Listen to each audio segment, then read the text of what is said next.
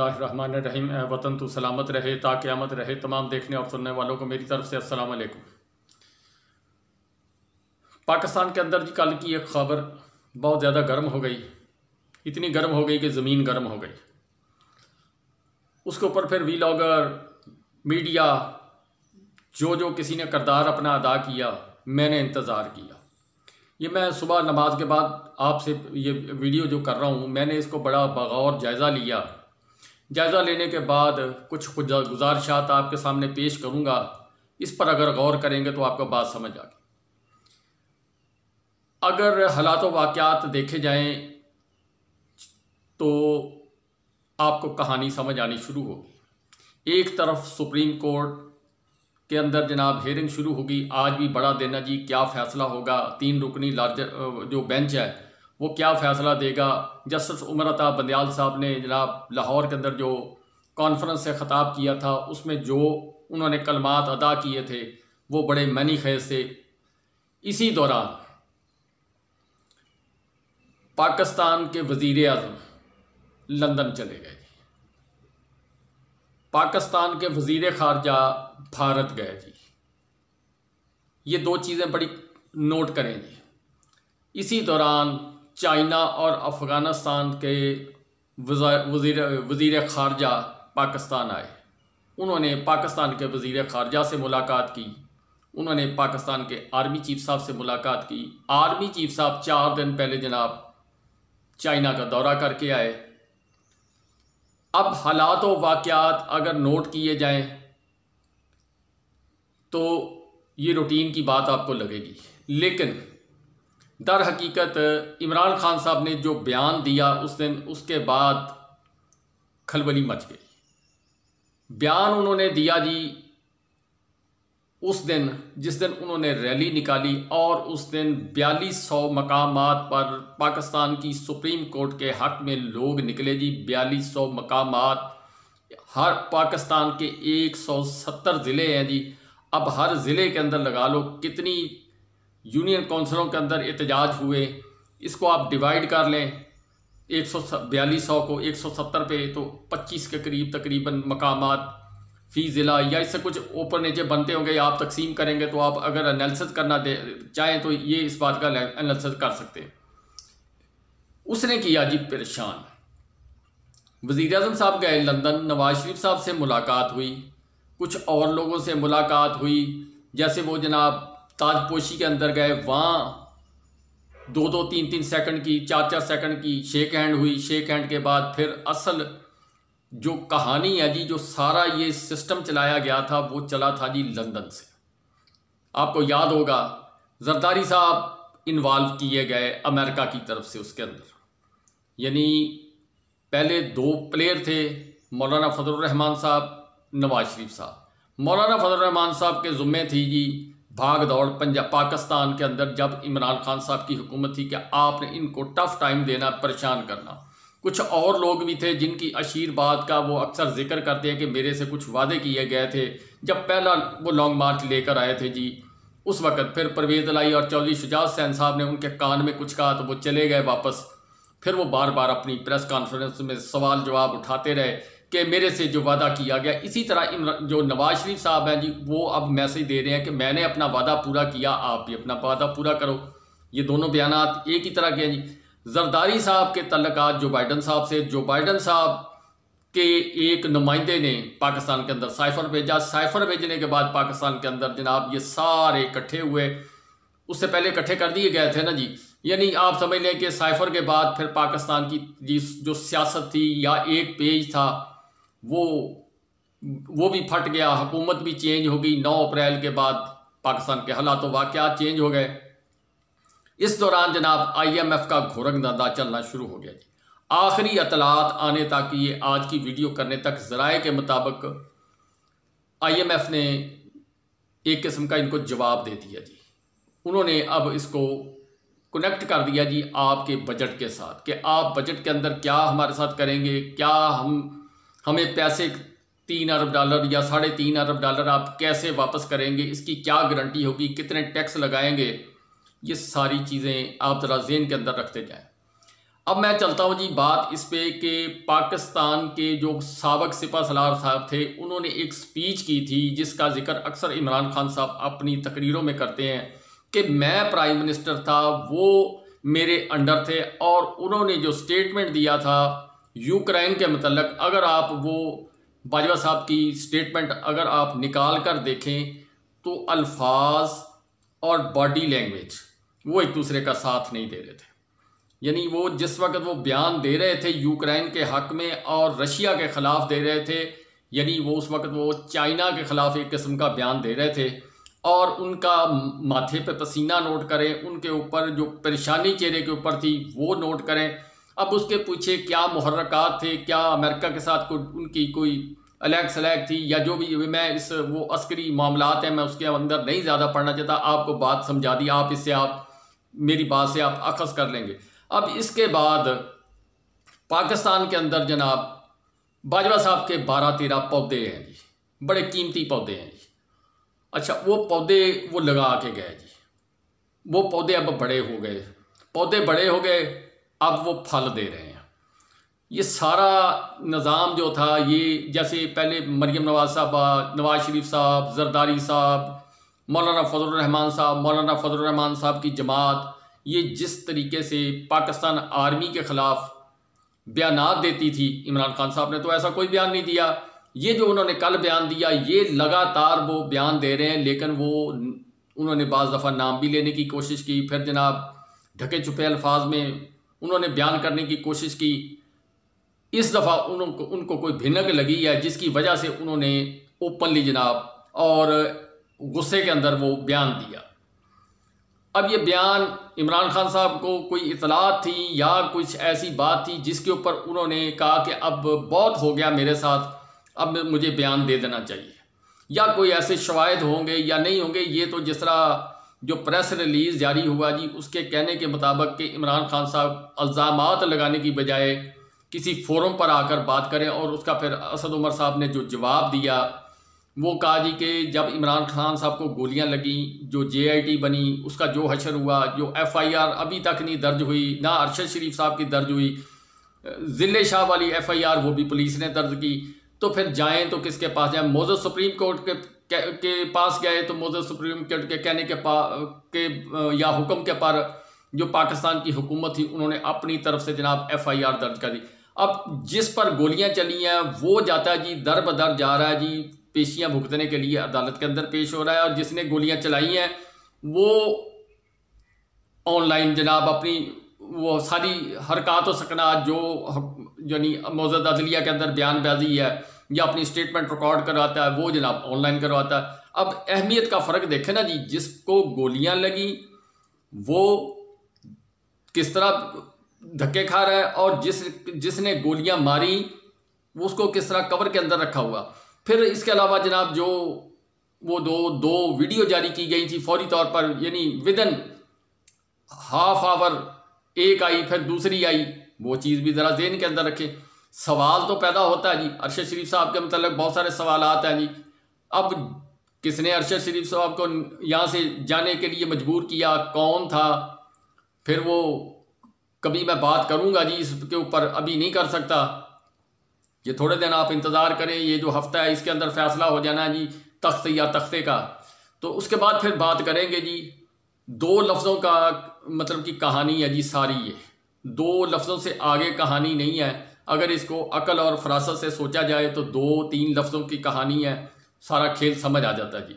लेकिन अभी ऐसा वक्त नहीं है बोलने का, इसलिए खामोशी बेहतर है। बात अपने सीने के अंदर रखो। बहुत सारे और लोग भी पाकिस्तान के अंदर हैं जो हकायक वाक़ात बयान करना चाहते हैं, लेकिन वो नहीं बयान कर सकते। मीडिया के बहुत सारे अरशद शी साहब के दोस्त हैं, जिनके साथ वो रवाबत के थे, से मुराद सही साहब रबते में थे। वो उनके साथ तो ज़्यादा रबता था, हमारे साथ तो उनका कोई रबता तो नहीं था, लेकिन हमारी एक सोच हमारी थिंकिंग है, वो मैं आपसे शेयर कर।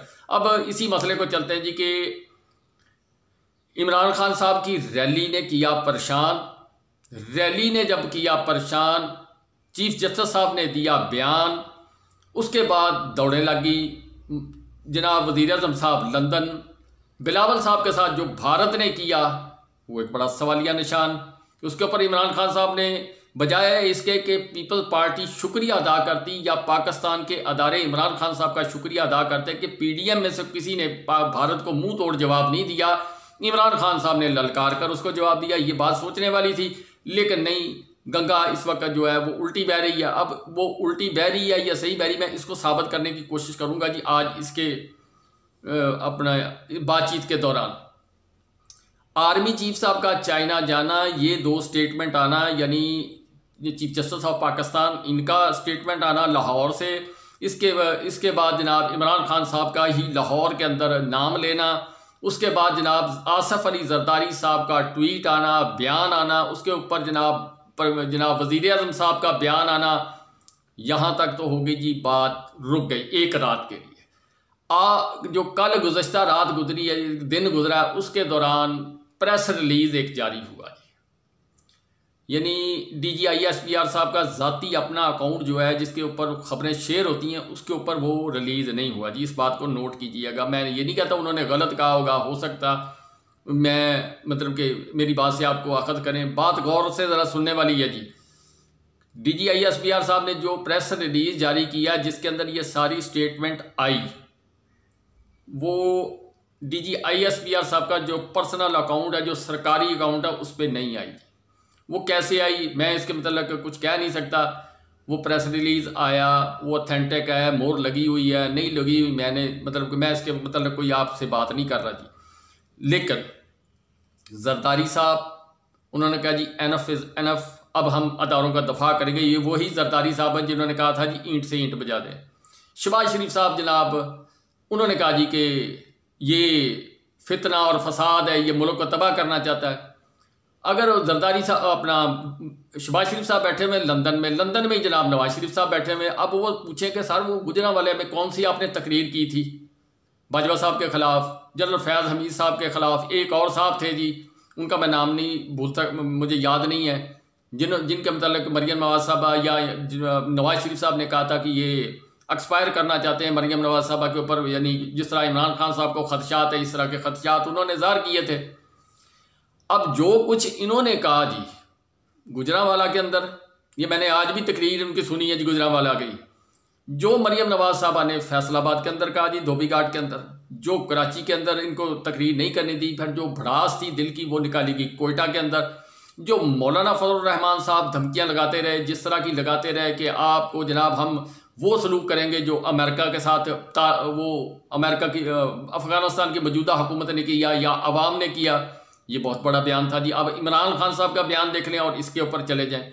इसके अलावा जनाब मुफ्ती कफ़ायतुल्ला साहब, आपको शायद याद हो, आजकल पसे पर्दा है जी, वो अल्लाह जब बेहतर जाने, वो आजकल सिर्फ़ इमामत करवा रहे हैं, किसी मस्जिद की या कहीं वो रूपोश हैं, या अफ़गानिस्तान गए हुए या किधर है, या मुझे नहीं पता।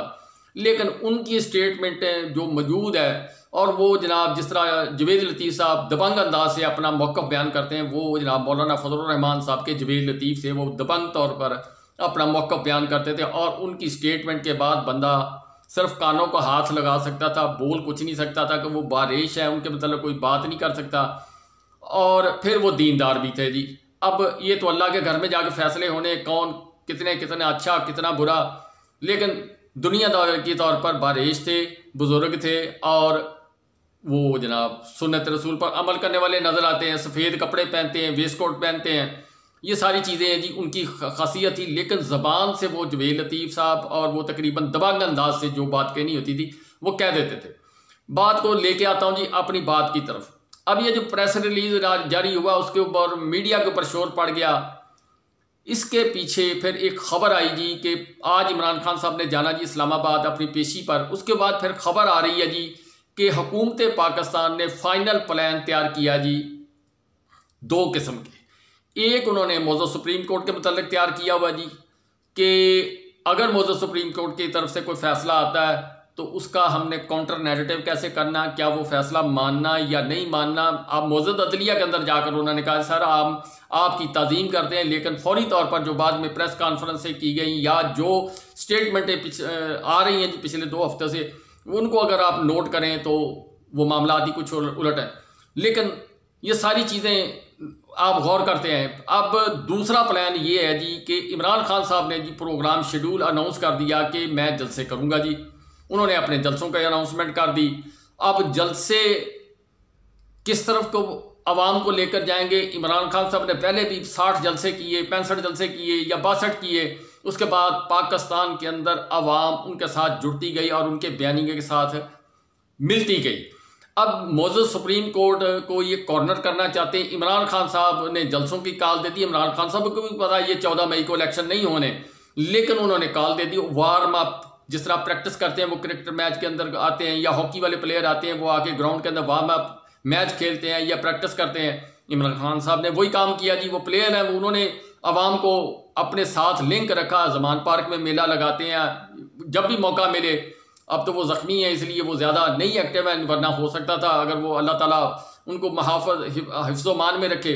अगर वो ठीक होते, ये गोलियों वाला मामला उनके साथ ना हुआ होता जो उन पर हमला हुआ तो उन्होंने अब तो अब तक तो जैसे उन पर एक सौ बयालीस, तैंतालीस एफ़ आई आर उन्होंने एक सौ बयालीस, तैंतालीस जलसे कर देने थे। और पाकिस्तान का नक्शा पहले इकहत्तर से पचहत्तर फ़ीसद है, फिर शायद सौ फ़ीसद हो जाता। अब ये सारी चीज़ें आप नोट करें।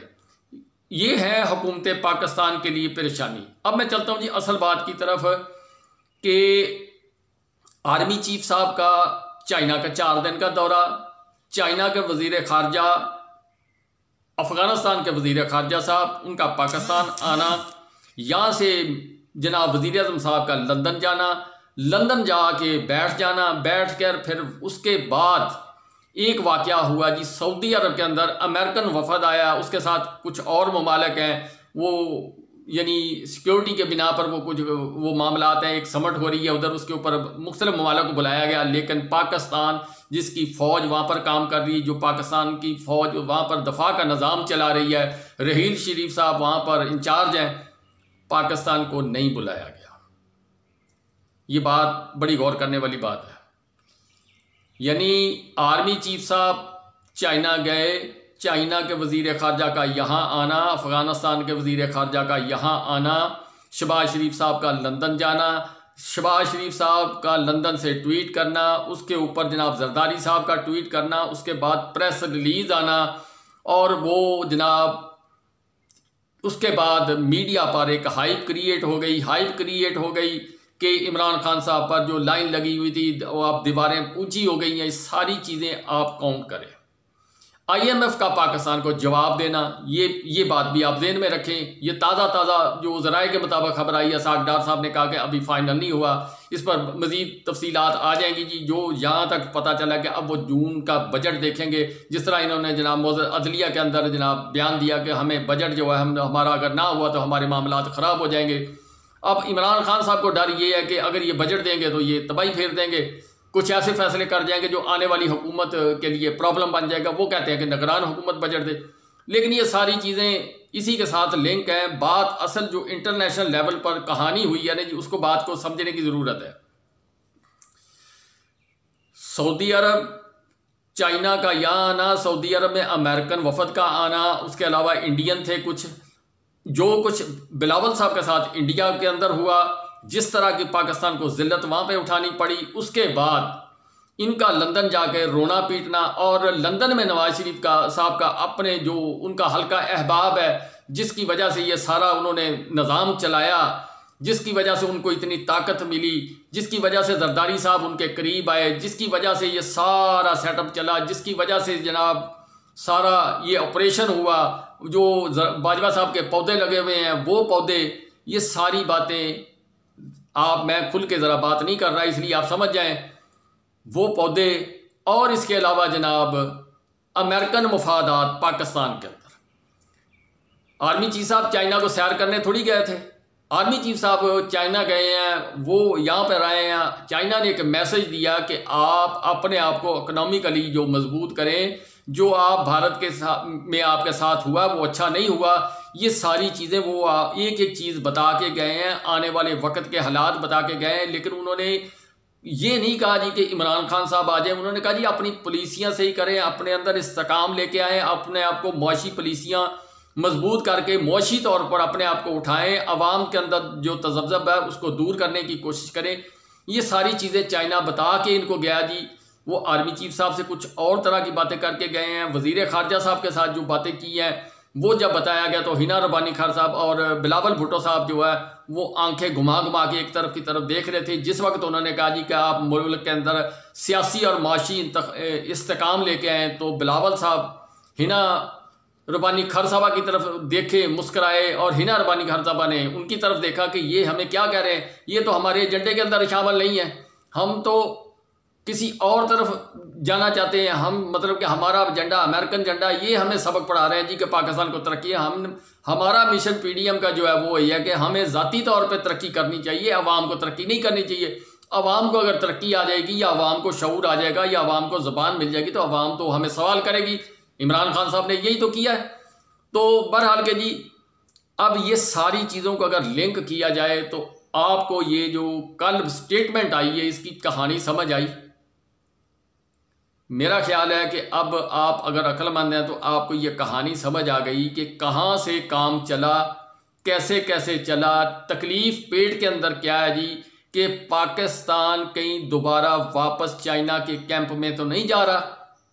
इस खदशे के पेश नज़र पाकिस्तान तहरीक इंसाफ जिसके मतलब रशिया, अफ़गानिस्तान, ईरान और चाइना वस्ती रियासतें और कुछ दोस्त ममालक जो हैं, वो सॉफ्ट कार्नर रखते हैं। मैं ये नहीं कहता कि इस्लामी ममालक जो है, वो इमरान खान साहब के साथ को बहुत मोहब्बत, प्यार है। वो इसराइल वाला वाक़ उस पर नाराज़गी देख लें। बाकी कुछ चीज़ें हैं, वो तो मैं इसके मतलब कुछ नहीं कह सकता जी।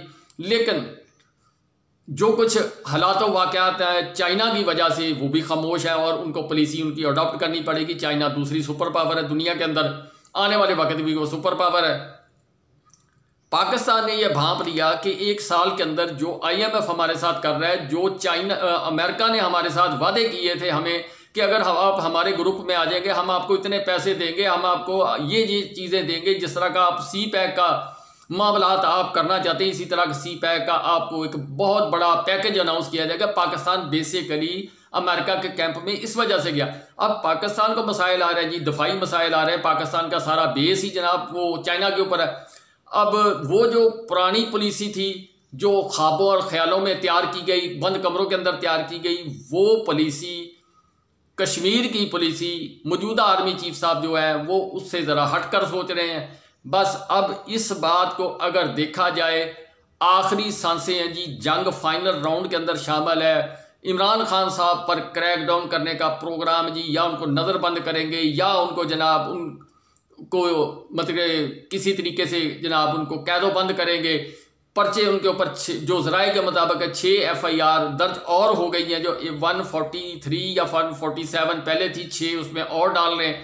आज उन्होंने जाना जी, क्या हालात, क्या वाक़ात पैदा होते हैं, अल्लाह ताला खैर से लेके जाएगा। कुछ लोग जो जराए के मुताबिक बता रहे हैं जी कि इनको नज़रबंद कर दिया जाएगा, कुछ कह रहे हैं जी इनको जेल के अंदर भेज दिया जाएगा। लेकिन मेरी एक बात आप, मैं सारे को सबने किसी ने नेगेटिव पेश किया, किसी ने, लेकिन मैंने जो बात की है बेसिकली अमेरिका को प्रॉब्लम हुआ। अमेरिका के जो यहाँ पर ताने बाने हैं, वो एक्टिव हुए हैं। शाह से ज़्यादा शाह के वफादार हैं। कुछ लोग हैं, सरकारी लोग, जिनके मफादात अमेरिका के साथ हैं। बस इससे ज़्यादा कुछ नहीं कहता अब आप खुद समझे, सारा आपको निज़ाम मैंने समझाने की कोशिश की है। इसके ऊपर जब आप गौर से, तफसील से जायज़ा लेंगे तो आपको सारी कहानी शुरू, समझ आ जाएगी। आने वाले वक्त के अंदर पाकिस्तान की जो स्टैब्लिशमेंट जिसको कहते हैं, उसमें सारी ब्यूरोक्रेसी आ गई, सब कुछ आ गया। पाकिस्तान के ताकतवर लोग आ गए, पाकिस्तान की अदली आ गई। ये सारा कुछ आपको कोई रिज़ल्ट देती हुई नज़र आएगी। मैं नहीं कहता जी कि वो इमरान खान साहब को लाना चाहते हैं, मैं नहीं कहता जी कि वो जरदारी साहब को लाना चाहते हैं। मैं इसके मतलब आज इसमें नहीं प्रोडक्शन करूँगा। मैं सिर्फ़ जो प्रेस रिलीज़ जारी हुआ, वो क्यों हुआ, मेरी जो सोच और समझ के तहत जो बात समझ आई है, वो ये है जी, अब इससे आप इतफाक़ करें ना करें, वीडियो लंबी होगी। इसके ऊपर एक वीडियो और करते हैं जी, रात को कुछ तफसीलात मज़ीद आ जाएँगी। इमरान खान साहब वहाँ से इस्लामाबाद से आ जाएँगे। फिर मैं आपसे बात करूँगा। इस बात को यहाँ से कंटिन्यू करने की कोशिश करेंगे। अल्लाह ताला आपका मुहाफ़ यानी अमेरिकन मफादात को ठेस पहुँचती हुई नज़र आ रही है तो ये सारे एक्टिव हुए हैं। अब उसमें वो अमेरिका के जो रजीम चेंज के करदार थे, वो भी एक्टिव हुए हैं। ये सब जो खेल है, ये कैसे चलेगा, क्यों चलेगा, अवाम कहाँ जाएगी? अगर इमरान खान साहब को गिरफ़्तार करते हैं, उसके बाद पाकिस्तान के अंदर हालात किस तरफ़ को जाएँगे? इनका मकसद है जी हालात ख़राब करना, पाकिस्तान के अंदर मार्शल्ला क्यों जो हालात, जो सर्वे, जो रिपोर्टें शबाज शरीफ साहब ने जाकर, नवाज़ शरीफ साहब को बताई है कि कुछ ऐसा किया जाए जिससे इलेक्शन ना हो, वरना हमारी सियासत का बिस्तरा गोल हो चुका। है ये सारा निज़ाम है जी। ये तीन ख़ानदान अपनी सियासत बचाने के चक्कर में और अमेरिका अपने मफादात बचाने के चक्कर में। चाइना पाकिस्तान का सत्तर साल का दोस्त है, उसने इसको जो ओरिजिनल बात है वो समझाने की कोशिश की है। पाकिस्तान के जो ताकतवर हल्के हैं, उन्होंने क्या फ़ैसला किया? ये आपको आने वाले चंद घंटों के अंदर, अड़तालीस घंटे, चौदह घंटे, बीस घंटों के अंदर आपको कुछ वाजे हो जाएगा, पुलिसियाँ वाजे होनी शुरू हो जाएँगी। और उसके ऊपर हुकूमत कहाँ तक जाती है, क्या शहादत लेती है या टकराव लेती है, वो भी बात आपको समझ आ जाएगी। जरदारी साहब का खेल भी काफ़ी हद तक खुल खलाकर आपके सामने आ जाएगा कि वो क्या करना चाहते हैं।